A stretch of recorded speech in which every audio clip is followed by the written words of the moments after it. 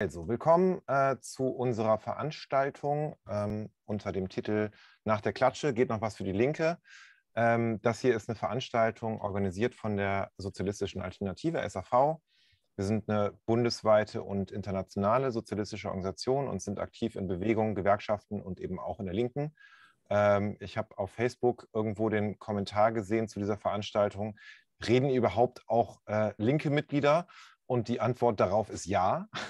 Ähm, der erste Redner gleich äh, wird Klaus sein. Ähm, der ist aktiv in der linken Köln-Kalk, ähm, saß von 2004 bis 2014 für die Linke im Stadtrat ähm, und ähm, genau ist da sehr aktiv. Die äh, nächste Rednerin ist die Anne. Ähm, Anne ist seit der WASG in diesem Projekt Die Linke dabei ähm, war Bezirksverordnete in Berlin-Mitte, lebt jetzt in Kassel und ist da auch aktiv ähm, in der Linken. Ähm, ich selber bin Seba. Ähm, ich war lange Zeit im Landesvorstand äh, der Linken in Bremen, war Direktkandidat zur Bundestagswahl 2017. Äh, damals 12 Prozent der Erststimmen ge geholt, mehr als die Grünen. Das waren noch Zeiten. Ähm, ja, vor zwei Wochen waren viele von uns ja auf Wahlpartys, ähm, wo relativ bald klar wurde, dass es kein besonders schöner Abend sein wird. Ähm, und seitdem hat in der Linken die Diskussion darum begonnen, was da eigentlich schiefgelaufen ist. Ähm, die verschiedenen Strömungen und Flügel machen sich jetzt bereit für den Kampf um die Interpretation des Wahlergebnisses und was, und was man daraus für Schlüsse ziehen muss, war Wagenknecht schuld oder war die Abgrenzung von Wagenknecht schuld oder war der Kampf um Wagenknecht irgendwie insgesamt schuld? War es die Orientierung auf Rot-Rot-Grün und das Mantra von CDU verhindern? Ähm, war das die richtige Taktik? Ähm, und äh, wahrscheinlich stimmt alles davon so ein bisschen und nichts nur. Also es gibt, glaube ich, ähm, keine einfachen Antworten auf diese ganzen Fragen, aber was, glaube ich, klar ist, ist, dass es ein grundsätzliches Problem ist, vor dem die Linke gerade steht und tatsächlich das Projekt Die Linke insgesamt ähm, in Gefahr ist. Und wir müssen, ähm, glaube ich, darüber diskutieren, wie wir eine stabile, starke Linke aufbauen können, aber auch grundsätzlicher eigentlich darüber reden, wie Linke sich zu Wahlen verhalten sollen, zu Regierung und zu Bewegung und wie dieses Verhältnis ähm, äh, sozusagen ist. Ähm, genau, das wollen wir heute Abend mit euch machen. Der Ablauf wird sein, dass Klaus äh, erst redet, dann Anna, je 15 bis 20 Minuten. Dann haben wir eine freie Diskussion, wo ich jetzt mal anpeilen würde, dass ähm, alle so um die fünf Minuten ähm, Redezeit haben, damit alle möglichst zu Wort kommen können. Äh, bis ungefähr um 20 Uhr. Dann haben wir kurze Schlussworte und dann Feierabend. Das wäre die Idee. So, dann gebe ich Klaus hiermit gerne das Wort. Ja, liebe Genossinnen und Genossen, schönen Abend auch von mir. Äh, diese Wahlniederlage, die hat ja im Prinzip so ein Schlaglicht auf den zerrissenen Zustand äh, der Partei geworfen. Jedes, äh, Seba hat es schon erwähnt, jedes Lager hat jetzt das eigene Narrativ, woran es gelegen hat. Und die äh, Reformerin um Bartsch, Gysi und ähnliche Leute betonen ja jetzt relativ stark, die Vielstimmigkeit hat geschadet. Ja? Ähm, und das ist auch richtig, aber anders, als Sie es meinen. Ähm, wir hatten ein brauchbares Wahlprogramm. Also aus marxistischer Sicht war das jetzt nicht der Stein der Weisen oder was super Geniales, aber es war definitiv brauchbar. Gegen dieses Wahlprogramm hat Wagenknecht frontal geschossen. Sie hat, ihr wisst das alle, ihr Buch Die Selbstgerechten mit einem Timing äh, ähm, rausgehauen, wie es schlimmer nicht hätte sein können für die Partei. Aber nicht nur Sarah Wagenknecht hat gegen dieses Programm äh, geschossen oder dieses Programm nicht genutzt. Denn die Parteiführung und die Wahlkampfleitung hat dieses Programm nicht in den Wahlkampf übersetzt. Also in Plakate, in Flugblätter, in, in Aktivitäten, sondern nur Ausschnitte dazu worden. Und zwar Ausschnitte, die im Prinzip die Forderung des Wagenknecht-Lagers aufgenommen haben, nämlich die berühmte soziale Frage oder um genauer zu sein, ich gehe da später noch drauf ein, Teile davon. Und gleichzeitig wurden immer wieder Positionen in Frage gestellt. Und gerade im Wahlkampf Endspurt habt ihr ja mitbekommen, was äh, Henning Welso und Bartsch zur Frage der NATO und so weiter gesagt haben, unter dem Deckmantel, na, über die NATO können wir sowieso nicht alleine entscheiden, was rein sachlich jetzt erstmal nicht falsch ist, haben sie aber im Prinzip den Rüstungshaushalt von 2018 akzeptiert, nach Jahren der Aufrüstung. Ne? Und dazu kam immer die Regierungsfrage, dieses sich aufdrängen als Ergänzung von SPD und Grünen. Und da würden natürlich die Reformerinnen, wenn sie jetzt hier in der Debatte sind, fragen, ja, wieso? Unsere Wähler, das sagen die Umfragen ganz eindeutig, die wollen doch mehrheitlich, dass wir mitregieren.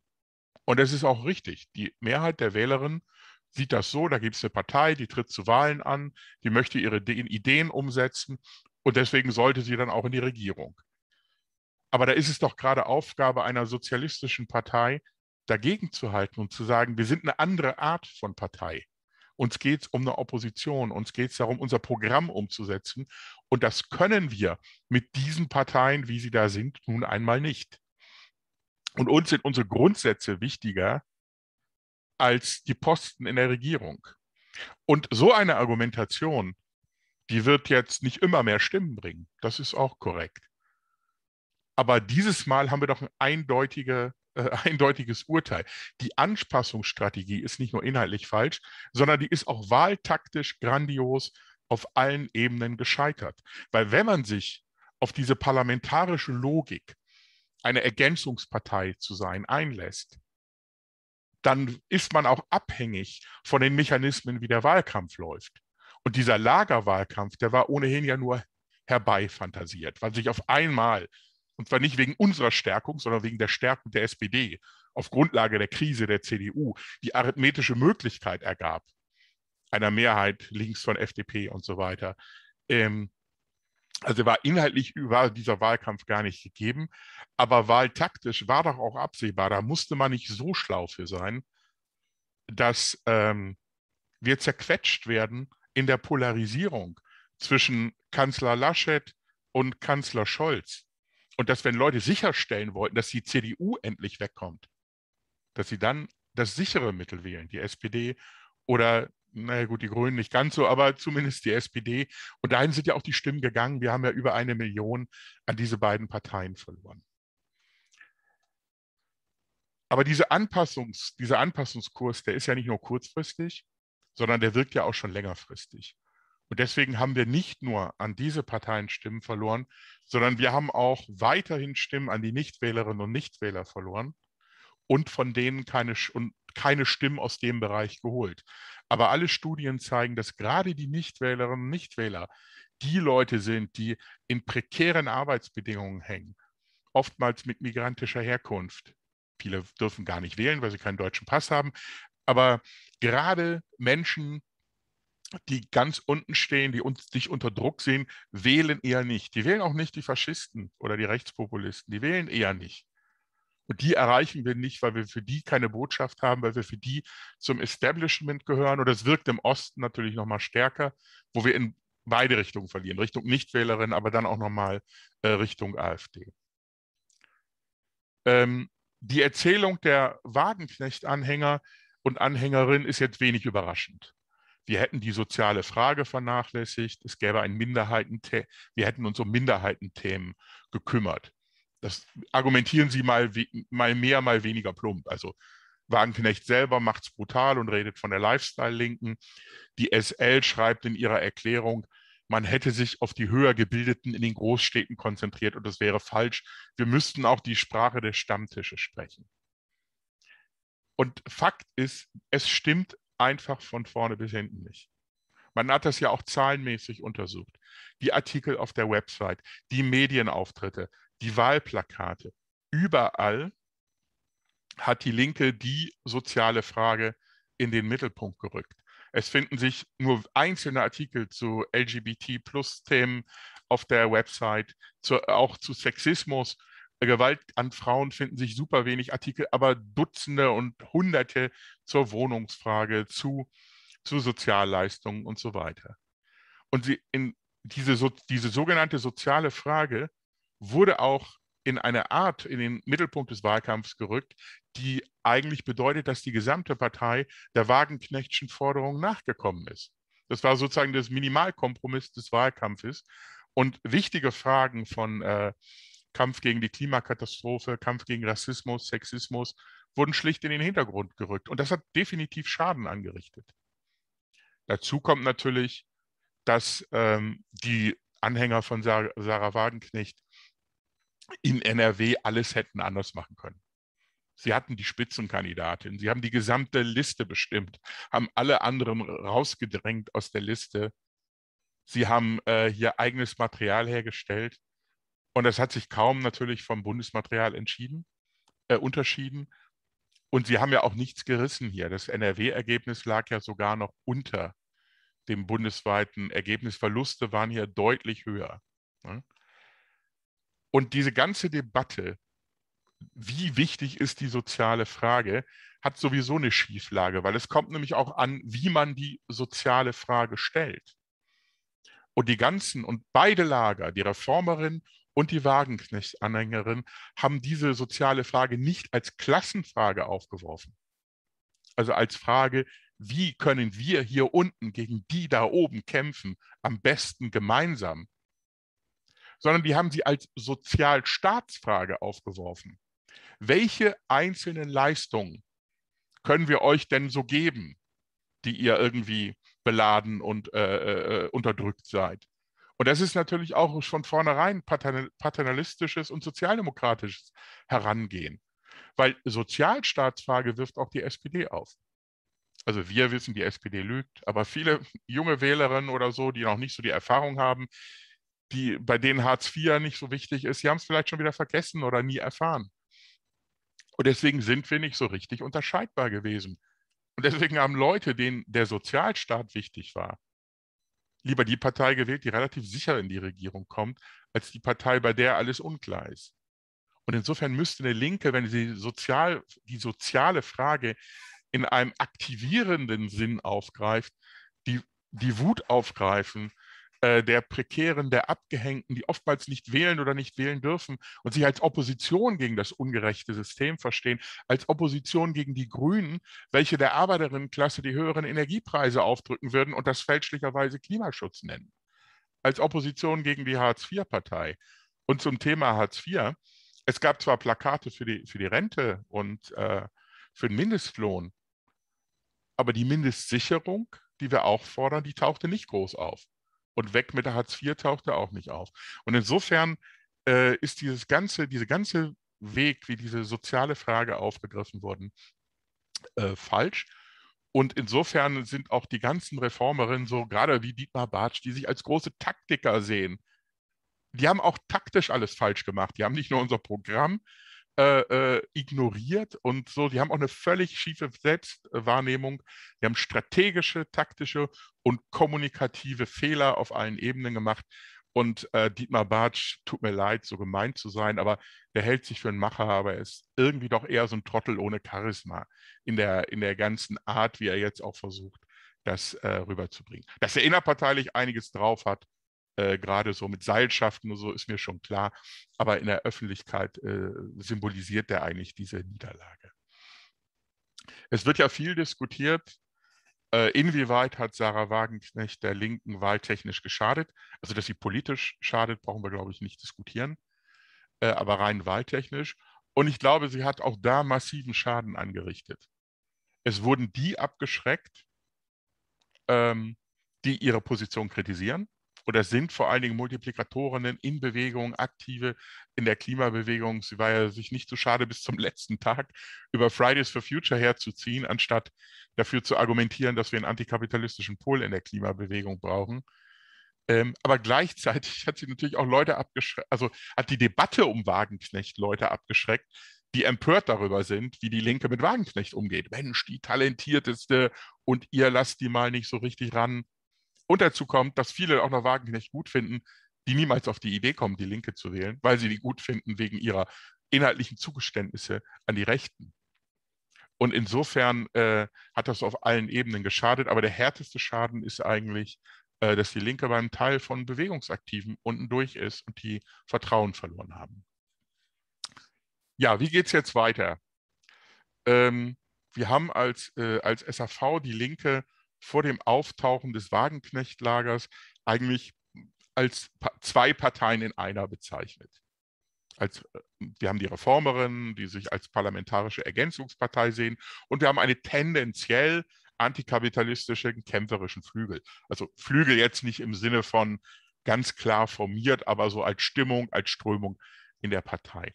Und mit Wagenknecht und ihren Linkskonservativen haben wir im Prinzip einen dritten Flügel. Und diese beiden im Kern reformistischen Flügel, die kooperieren teilweise, siehe das berühmte Hufeisenbündnis in der letzten Fraktion, fechten aber auch Machtkämpfe aus und sind an manchen Punkten nicht miteinander vereinbar. Und äh, die versuchen natürlich jetzt ihre Erzählungen durchzusetzen und machen wir uns nichts vor. Erst einmal ist natürlich die Parteirechte gestärkt. Allein wenn man sich die Zusammensetzung der Bundestagsfraktion anguckt, die Verteilung der Gelder, die Abhängigkeit von den drei Direktmandaten. Und das werden sie versuchen zu nutzen. Also Gysi hat, wie gesagt, äh, viel, behauptet, Vielfältigkeit wird zum Problem. Und Bartsch macht das nochmal klar und geht da auf einen der Kernpunkte der Partei, die Friedensfrage.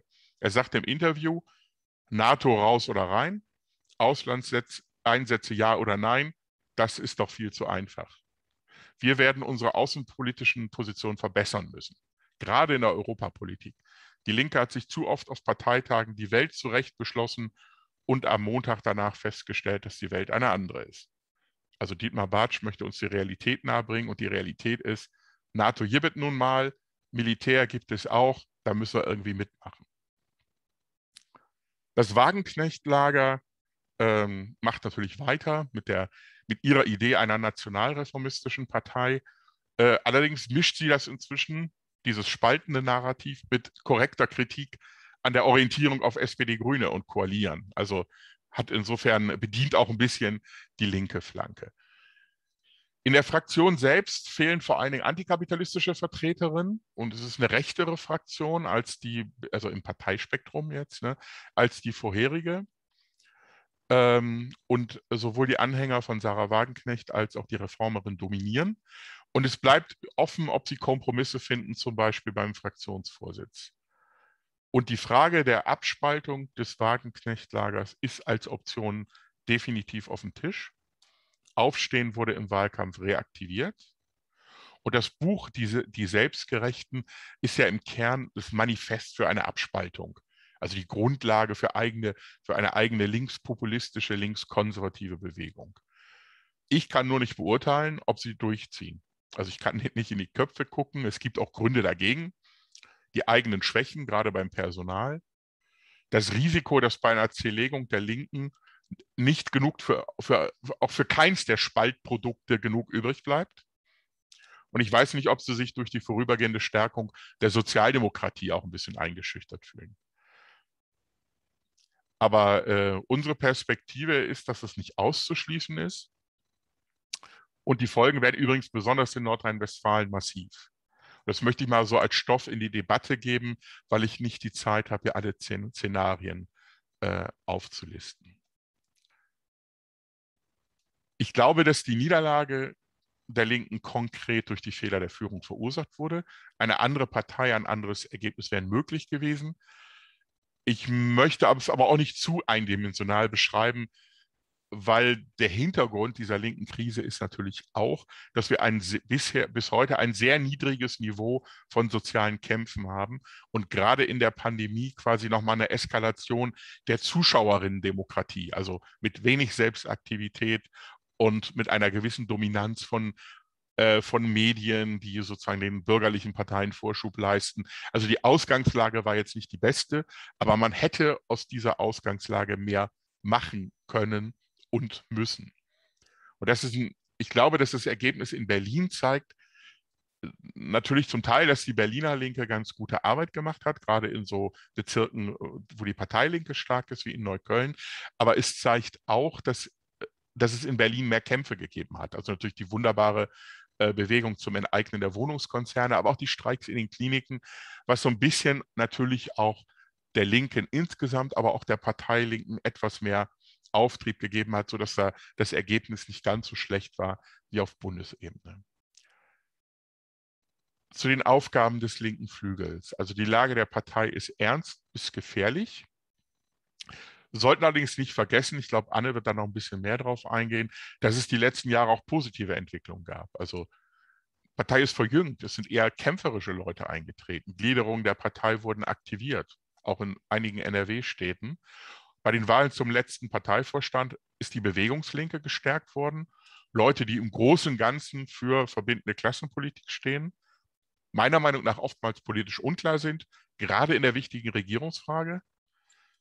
Äh, aber insofern strategisch auch nicht immer gut agieren, aber die was ausdrücken, dass das eine andere, eine andere Stimmung in der Partei ist, dass Menschen sind, die, die äh, quasi Partei und soziale Kämpfe miteinander verbinden wollen. Die AKL ist definitiv stärker in Analyse und Programm, aber personell stagniert sie eher, ist allerdings wichtiger denn je. Und das Erste, was wir jetzt tun müssen als Parteilinke insgesamt, ist äh, gegen die Frustration anzukämpfen, gegen das Auseinanderbröckeln. Denn solche Krisen führen erstmal dazu, dass die Menschen mit mehr Beharrungsvermögen sich äh, dran klammern an die Partei. Und das sind oft die Bürokratinnen und Bürokraten und nicht die Aktiven, die auch noch ein anderes Leben und andere Aktivitäten haben. Das heißt, wir müssen ähm, diese Genossen äh, auf jeden Fall dazu bringen, nicht aufzugeben, sondern dabei zu bleiben. Und gleichzeitig äh, Forderungen und Projekte vorantreiben, dabei mehr Zuspitzung und Radikalität reinbringen und an den Dingen an, ansetzen, die in den letzten Jahren gut gelaufen sind in, in, im Klassenkampf. Der Wohnungskampf in Berlin, die Klinikstreiks. Und eine zentrale strategische Aufgabe bleibt, äh, einen antikapitalistischen Pol in der Klimabewegung aufzubauen nicht völlig alleine, mit anderen Aktiven in der Bewegung zusammen, weil die Klimabewegung vor der großen Frage steht, vom Protest zum Widerstand äh, überzugehen. Heißt allerdings auch, dass wir diese, also wir dürfen diese Bewegungsorientierung nicht nur als Postulat verstehen, sondern müssen real Partei und äh, Kämpfe stärker verzahnen. Heißt aber meiner Meinung nach, auch das war ein bisschen kontrovers diskutiert in der AKL NRW, dass wir nicht mit aller Kraft nach innen in die Partei gehen, sondern punktuell, dass wir uns die Punkte aussuchen, wo wir in die Partei reinwirken, weil wir und unsere Aktiven aus der Parteilinken tatsächlich in den Bewegungen gebraucht werden bei der Weiterentwicklung. Wir können diese Partei nicht daran hindern, sich selbst zu schädigen. Wir sind nicht die Feuerwehr und der Rettungswagen. Wir können aber Akzente setzen und Genossen ermutigen, gute Beispiele bringen. Wir werden auf Regierungsebene, ich komme auch zum Schluss, danke sehr, äh, auf Regierungsebene werden wir vermutlich eine Ampelregierung erleben. Der, die Geschwindigkeit und der Rhythmus der sozialen Angriffe ist mir zumindest noch nicht ganz klar. Wir haben keine akute ökonomische Krise. Das würde einen gewissen Spielraum, eine gewisse Honeymoon-Periode für diese Regierung möglich machen. Allerdings gibt es ein paar Punkte, die wir, die wir wissen. Sicher ist, die Klimakrise spitzt sich zu und die Maßnahmen dieser Regierung werden nicht reichen, die auch nur abzumildern. Und daraus können Kämpfe entstehen. Sicher ist auch, die Kosten der Pandemie und auch der bescheidenen tatsächlichen oder gefakten Klimamaßnahmen werden auf die Arbeiterinnenklasse umgewälzt. Wir sehen jetzt schon die massive Entwicklung bei den Energiekosten, aber insgesamt mit den inflationären Elementen, die wir gerade haben. Sicher ist auch, anhaltende tiefere Probleme, Wohnungsfrage, Niedriglöhne, und äh, Situationen im Gesundheitsbereich werden uns erhalten bleiben. Das heißt, es wird Möglichkeiten zur Gegenwehr geben und in diesen Kämpfen eine linke Partei aufzubauen. Und das ist erstmal diese Linke. Wenn die Batschisten und das Wagenknechtlager ihren selbstzerstörerischen Kurs fortsetzen, dann kann es immer schwieriger werden, das mit dieser Partei zu machen und es kann diese Partei zerreißen. Aber es ist auf der genauso wenig ausgeschlossen, dass diese weiter zusammenhält und dann können wir auch in den nächsten Jahren die Auseinandersetzung in und um diese Partei führen. Vielen Dank, liebe Genossinnen und Genossen. Vielen Dank, Klaus. Ähm, Pin, Video entfernen und Anne anpinnen. So, dann hat Anne jetzt das Wort. Achso, äh, wenn ihr euch gleich melden wollt, ihr könnt euch auch schon melden, während Anne redet, dann schreibt einfach euren Namen in den Chat oder benutzt die Handheben-Funktion oder äh, mit Video am liebsten nicht, weil das sehe ich nicht. Also versucht es irgendwie anders. Anne, bitte. Ja, vielen Dank, äh, Seba, und auch nochmal vielen Dank an Klaus für diese Einschätzung. Ähm, Klaus und ich haben immer so ein bisschen die Tendenz, aus unterschiedlichen Perspektiven auf die Entwicklungen zu gucken. Und ich glaube, ich versuche einen etwas, ähm, ein bisschen mehr äh, auf die Perspektive der Linken einzugehen. Aber ich denke, dass wir insgesamt ähm, zu ähnlichen Schlüssen kommen, nämlich, dass die Linke jetzt an einem Scheideweg steht und sich entscheiden muss, auf welcher Seite des Klassenkampfes äh, sie steht. Die Linke hat bundesweit zwei Millionen Wählerinnen verloren und es ist richtig, von einer schweren Niederlage zu sprechen. Alles, äh, allerdings gibt es, ich weiß nicht, ob ihr, äh, ob ihr den gesehen habt, einen interessanten Artikel von Kersten Augustin in der Taz. Und der schreibt, dass die beste Zeit der Linken noch kommt. Und damit meint er sowohl die Linke groß als auch klein geschrieben. Äh, in dem Artikel wird dann äh, eine Reihe von Erfolgen der letzten Woche für die Linke, also kleingeschrieben, äh, vor der Wahl ähm, aufgezählt und ich werde dazu noch ein paar Erfolgsgeschichten oder zumindest ein paar Entwicklungen ergänzen. Denn allein jetzt diesen Mittwoch äh, dieser Woche ähm, äh, gab es in unterschiedlichen Bundesländern Deutschlands mindestens fünf unterschiedliche Streiks und Warnstreiks.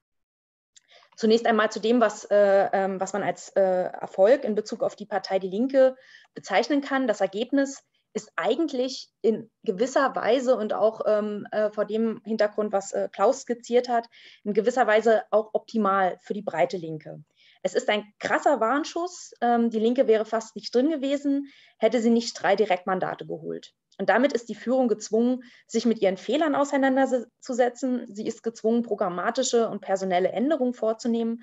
Und es kann kein weiter so in diesem Zickzackkurs zwischen Mitspielen im Establishment und Klassenkampf geben. Die Linke muss sich entscheiden, entweder für die falsche Seite, dann ist sie in spätestens vier Jahren tot, oder für den Klassenkampf von unten und dann hat sie Potenzial zu wachsen. Und an diesem Scheidepunkt steht sie ganz eindeutig und das sollte auch dem letzten Reformer der, der Partei klar sein, äh, dass es gerade um alles geht. Und dass diese daraus aber leider, und das hat Klaus ja auch äh, skizziert, die absolut falschen Schlüsse ziehen, ähm, äh, das wird äh, immer mehr deutlich. Wichtig ist, dass wir, die, dass wir die richtigen Schlüsse daraus ziehen und den Kampf um die Linke auch auf der breiten Linken führen. Gleichzeitig, und das gehört gewissermaßen zum Erfolg des Wahlabends, ist die Partei Die Linke nicht aus dem Parlament geflogen. Die Strukturen und die wichtige Oppositionsarbeit sind damit nicht komplett futsch. Sie ist immer noch da drin und kann wichtige Untersuchungsausschüsse, Anfragen, Anträge und so weiter stellen. Und wir sind ja auch nicht dagegen, in äh, Parlament zu gehen, sondern äh, wir sind eben genau dafür, das Parlament eben auch zu nutzen und wie die Linke insgesamt dieses wichtige Instrument nutzt, um die Kämpfe voranzutreiben, das müssen wir diskutieren und darum müssen wir in der Partei eben auch kämpfen. Momentan sieht es jedoch mit dieser Perspektive weiterhin nicht gut aus, ähm, denn trotz äh, dieser, sagen wir, positiven Perspektive in der Na Niederlage ist die Parteirechte gestärkt.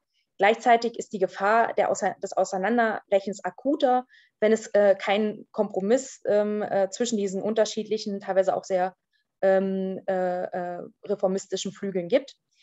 Die antikapitalistische Perspektive spielt darüber zunächst ähm, momentan eine geringe bis gar keine Rolle. Ähm, und die Klärung wird es geben, aber es ist noch nicht klar, in welche Richtung. Ein weiterer Erfolg jedoch fand außerhalb der Bundestagswahl statt. Wie äh, Klaus auch schon genannt hat, die Bewegung Deutsche Wohnen enteignen hat äh, die, einen Sieg davon getragen. Über eine Million Menschen in Berlin, zehn der zwölf Bezirke, haben mehrheitlich für Enteignungen der großen Immobilienhaie mit mindestens mehr als 3000 Wohnungen gestimmt für Enteignung, und das müssen wir uns bewusst machen, das ist ein Erfolg. Vor fünf Jahren wäre dieses Wort in den öffentlichen Medien auf jeden Fall verunglimpft worden oder es wäre so eine krasse ähm, Anti-DDR oder Gulag oder was auch immer Kampagne geführt worden. Und das ist den ähm, Medien trotz solcher Versuche äh, nicht gelungen. Äh, heute steht dieses Wort äh, für ein lebenswertes Leben und schürt unter vielen Menschen Hoffnung. Eine weitere wichtige Entwicklung, auch für linke Ideen, sind die Streikbewegungen, die in Deutschland gerade stattfinden oder stattgefunden haben. Darunter vor allem der GDL-Streik, der nicht nur das Streikrecht, sondern auch das Koalitionsrecht verteidigt und das absurde Tarifeinheitsgesetz in Frage gestellt hat, abgesehen auch von dem, äh, von einem gewissen Achtungserfolg in den Verhandlungen. Und dann gab es die Streikrunde äh, der Krankenhäuser in Berlin, die gerade mehr oder weniger zu Ende gegangen ist und wo die Kolleginnen 29 Tage bewiesen haben, dass sie sich nicht mehr über den Tisch ziehen lassen und es ihnen mit der Krise im Gesundheitswesen ernst ist. Dann fand auch in Berlin äh, ein Streik jetzt am Mittwoch von 500 Lehrerinnen statt, der auch an sich eine wichtige Forderung auf die Tagesordnung gesetzt hat, nämlich einen also Tarifvertrag Gesundheitsschutz durch kleinere Klassen. Und diese Forderung kann auch in anderen Bundesländern aufgegriffen werden, beispielsweise für Organisierung äh, und den Aufbau von Schulgruppen genutzt werden. Denn das ist eine attraktive Forderung, die gerade jetzt in der Corona-Zeit ähm, deutlich äh, äh oder unterstreicht, ähm, wie wichtig kleine Klassen sind, nicht nur aus einer ähm, Gesundheitsperspektive, nicht nur aus einer Überlastungsperspektive für die Lehrerinnen, sondern vor allem auch klar äh, aus einer pädagogischen ähm, ähm, Perspektive um eben auch auf die unterschiedlichen Bedürfnisse äh, von Schülerinnen äh, eingehen zu können. Des Weiteren gibt es den bemerkenswerten Kampf, den sogenannten wilden Streik der Gorillafahrerinnen in Berlin, die gegen prekäre Bezahlung, willkürliche Entlassungen ähm, äh, und für einen Tarifvertrag kämpfen. Und hier hat sich nun Verdi endlich überzeugen lassen, die Kolleginnen zu unterstützen, nachdem das Management mit einer Entlassungswelle droht. Auch die Amazon-Beschäftigten in Bad Hersfeld, Leipzig und Winsen unter anderem äh, haben äh, regelmäßig gestreikt. Äh, es gab jetzt am Mittwoch auch eine Streikdemo von 1000 bundesweiten Bauarbeiterinnen in Berlin. Es gibt die Kämpfe im Einzelhandel bundesweit oder auch die aktuelle Tarifrunde der Länder und später auch im öffentlichen Dienst. Da kann ich jetzt nicht im Einzelnen drauf eingehen, aber es finden insgesamt, denke ich, doch eine ganze Reihe wichtiger Entwicklungen statt. Die SAV hat auf ihrem bundesweiten Kongress im Juni festgehalten, dass vor allem die Bereiche Pflege, Bildung und Logistik in den nächsten Monaten aktiv werden, da sie in der Pandemie an der ersten Front standen und die Wut unter den Beschäftigten steigt. Diese Position hat sich mit dem wachsenden Aktionspotenzial in den Bereichen absolut bestätigt. Hier sind es vor allem Frauen und Migrantinnen, die sowohl die Gewerkschaftsstrukturen aufmischen als auch an den Protesten und Streiks beteiligt sind. Des Weiteren gab es vor den Bundestagswahlen einen Klimastreik, an dem sich eine halbe Million Menschen bundesweit beteiligte. Und in gewisser Weise war das auch ein Erfolg, ähm, weil die Bewegung sich trotz der Schwäche, die sie auch während der Pandemie oder die es teilweise während der Pandemie gab, ähm, sich wieder neu und äh, auch erstärkt ähm, präsentierte. Es gibt zudem weitere Auseinandersetzungen um das Recht auf Abtreibung und die Streichung des Paragraphen 218 und 219. Die Lage hat sich für Betroffene in den letzten Jahren in Deutschland massiv verschlechtert. Jedoch ist es der Bewegung gelungen, diese Themen wieder sichtbar zu machen. Vor den Bundestagswahlen gab es zudem eine große Unteilbar-Demonstration mit 30.000 Teilnehmerinnen in Berlin, die Abschiebung, Rassismus und Polizeigewalt thematisierte und an der sich auch Pflegerinnen und Aktivistinnen von Deutsche Wohnen enteignen beteiligten. Und es gab weitere Kämpfe. Die Reformer um Bartsch einerseits und um Wagenknecht andererseits möchten das gerne leugnen, aber es ist offensichtlich, überall dort, wo, die, wo linke Mitglieder glaubhaft nicht nur an der Seite, sondern als Teil der Bewegungen auftraten, hat die Linke dazugelegt. Das gilt für Neukölln und Kreuzberg und überall dort, wo sich gerade sehr viel bewegt. Ähm, das hat nicht überall geklappt. Es gibt auch andere Orte, wo die Linke unterstützend aufgetreten ist, Berlin ist aufgrund des höheren Standes sozialer Kämpfe sicherlich besonders hervorzuheben. Eins ist aber klar, ganz offensichtlich hat die Linke dort verloren, wo sie widersprüchlich und unentschlossen von einem Bein auf das andere tritt. Das gilt vor allem für NRW, wo Wagenknecht gerade mal 3,5 Prozent holte und die Auseinandersetzung ihre Person entweder für oder gegen sie von den Kämpfen ablenkte, die Linke bei aktiven Schichten diskreditierte und Wählerinnen gespalten hat. Ihre Positionen an sich sind nicht haltbar. Für alle, die gerade irgendwo in Auseinandersetzungen geraten sind oder auch von den Auswirkungen der Flutkatastrophe, Rassismus, Sexismus oder Entlassung getroffen sind, die künstliche Trennung der Themen Unterdrückung und Ausbeutung gerade von Linken ist nicht aufrechtzuerhalten. Natürlich werden Gorillafahrerinnen und Amazon-Beschäftigte ausgebeutet, aber sie sind auch häufig von strukturellem Rassismus des Staates Polizeikontrollen betroffen und sogar von Abschiebungen bedroht. Natürlich gehen die Pflegekräfte, Erzieherinnen und Lehrerinnen auf dem letzten Zahnfleisch, sind ausgebeutet, aber unter ihnen gibt es auch viele, die von strukturellem Sexismus, Homo- und Transphobie, Abwertung, Gewalt und fehlenden Angeboten für Schwangerschaftsabbrüche betroffen sind und oder in zu wenig und zu teurem Wohnraum leben, für den das wenige Gehalt dann auch noch draufgeht. Und insgesamt sind alle von der Klimakrise betroffen. Denn auch Lehrkräfte, Postboten und Pflegekräfte haben in Ahrweiler und anderen Flutgebieten ihr Hab und Gut verloren und sind weit weniger gut versichert als die herrschende Klasse. Wir alle sind mittelfristig von steigender Hitze, von Ernteausfällen, Überschwemmungen, Dürren und Naturzerstörung betroffen. Zu versuchen, Ausbeutung von Mensch und Natur und Unterdrückung voneinander zu trennen, spaltet nicht nur die Klasse, sondern nimmt sie auch nicht ernst und führt nicht dazu, dass sie sich an den unterschiedlichen Fronten, an denen sie gerade kämpft, unterstützt fühlt. Es gibt verschiedene Auseinandersetzungen, in die die Linke sich einmischen kann und deutlich Position beziehen kann. Seien es Klima, die Tarifrunde der Landesbeschäftigten, der Bauarbeiterinnen, der Beschäftigten im Einzelhandel. Es macht doch keinen Sinn, zu versuchen, in Auseinandersetzungen hineinzuregieren oder sie von oben herab zu bewerten oder sich irgendwie als Kümmererpartei zu inszenieren. In der Arbeiterinnenklasse gibt es unter viel, vielen, vor allem jungen Schichten, ein neues Selbstbewusstsein. Und das Letzte, was sogenannte Malocherinnen brauchen, ist Bevormundung. Wahlplakate, wie die in Berlin gehängt wurden, wie Malocher vor Ausbeutung schützen, sind absolut daneben. Erstens, weil Ausbeutung in allen Berufsgruppen stattfindet und erst mit der Abschaffung des Kapitalismus abgeschafft werden kann. Lohnarbeit bedeutet so lange immer Ausbeutung. Zweitens brauchen Malocherinnen keinen Schutz, sondern sie brauchen eine Partei, die sie unterstützt, die mit ihnen kämpft, die ihnen bei der Organisation hilft und Verbesserungen zu erkämpfen und die Gewerkschaftsführung vor sich hertreibt und für eine Demokratisierung von Tarifverhandlungen und Streikkultur eintritt. Sie kann zu den Streikposten gehen, wo es darum geht, nachzufragen und gemeinsam mit den Beschäftigten Ideen zu entwickeln, wie es weitergeht. Sie kann mit ihnen in Absprache Gesetzestexte, Anfragen, Studien und so weiter entwickeln, um die Kämpfe voranzubringen und sich darüber selbst aufzubauen. Die Linke hat jetzt folgende Aufgaben. Sie muss die Erfolge wie in Neukölln und Kreuzberg auswerten. Sie muss bundesweit das Mietenthema pushen und überall Deutsche Wohnen enteignen und Co-Initiativen möglichst aufbauen und unterstützen.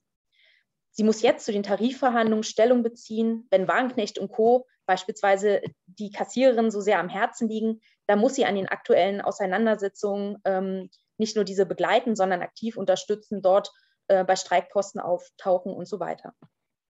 Die Linke muss stärker in die Klimabewegung eingreifen und was hat der Klaus schon gesagt, einen antikapitalistischen, klassenorientierten Pol bilden mit Plakataktionen, Shaming, Protesten, Slogans wie Klimakiller enteignen. Denn ähm, äh, ja, vor der Wahl äh, oder nach der Wahl ist vor der Wahl. Auch jetzt kann sie wieder plakatieren, auch jetzt kann sie in die Offensive gehen, nicht nur um sich selber ins Parlament zu hieven, sondern eben um bestimmte Forderungen und um bestimmte Bewegungen sichtbar zu machen. Sie muss an die Pflege und an die Bildungssituation ran und ganz offensiv Umverteilung mit Steuern, Enteignung, Investitionspakete und Protestaktionen fordern und vorschlagen. Weder die Linke, kleingeschrieben, noch die Menschen, die gerade an unterschiedlichen Fronten gegen Kapitalismus im weitesten Sinne kämpfen, brauchen eine Linke, die sich nur zum Selbstzweck oder zur Selbstbereicherung ihrer Abgeordneten und Beschäftigten aufrechterhält. Die SAV steht konsequent an der Seite der Kämpfe, die sowohl Ausbeutung als auch Unterdrückung jeglicher Art thematisieren. Ähm, wir wollen mit den Bewegungen, egal ob in den Betrieben oder auf der Straße, Erfahrungen sammeln. Unsere Mitglieder sind Teil in Bündnissen zur Verkehrswende, im Klimastreik, in den Gewerkschaften GEW, IG Metall und Verdi ähm, und stehen für bessere Bildung und Pflege ein. Wir verbinden diese Kämpfe mit einem Programm zur Abschaffung des Kapitalismus und Aufbau einer demokratischen, sozialistischen Gesellschaft von unten. Die Linke ist für uns äh, ein wichtiges Arbeitsfeld und wir sind darin Mitglied. Allerdings weigern wir uns, ein weiter so oder einen weiteren Schritt Richtung Spaltung der Arbeiterinnenklasse einerseits und Anpassung an andere bürgerliche Parteien andererseits zu akzeptieren. Wir kämpfen dafür, dass die Linke bundesweit und nicht nur vereinzelt konsequenter Teil betrieblicher und sozialer Bewegungen wird und werden und ähm, und nicht mehr bevormundend daneben steht. Und noch in Regierungsbeteiligung oder äh, im Versuch, mit Bürgerlichen mitspielen zu wollen, wichtige Forderungen über Bord wirft. Und das ist natürlich auch an, ein Appell jetzt an alle, die noch nicht Mitglied der SAV sind oder sich überlegen, Mitglied zu werden. Ähm, genau, also werdet Mitglied der SAV, kämpft mit uns an unserer Seite für eine demokratische, unangepasste, kämpferische und antikapitalistische Linke. Vielen Dank.